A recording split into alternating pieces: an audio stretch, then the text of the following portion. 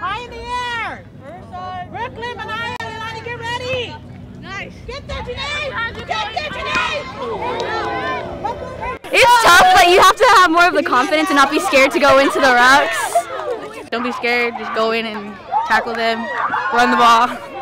When I first figured it out, I was like, damn, that looks really rough. But now that you play, it's like pretty easy. Like in rugby, everyone can run the ball. And every position is very important and it makes a difference. Everybody makes a difference in scoring.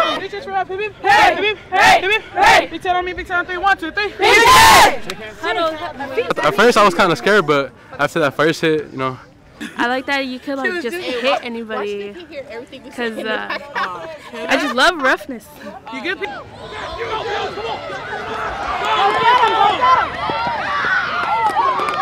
I, I was worried about that a lot since the beginning, but when I started getting hit and all, I, I noticed I wasn't that bad, so I stopped being scared. And I like to tackle, like to run a lot. I'm a very physical person, so I thought rugby was just a good choice for me.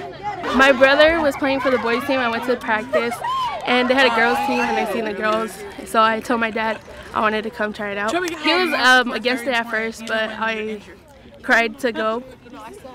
It was a challenge because it was hard to get people out. A lot of students, uh, they're not familiar with the sport, and then when they were familiar with it, they were scared because they're so used to, to American football having helmets and pads. So a lot of the students were nervous about that, and they hesitated to come out to practice. I love the team. The team and my girls right there. My family plays rugby and they've been playing rugby, so they've been persuading me to come play. And I just love the sport, period. There you go!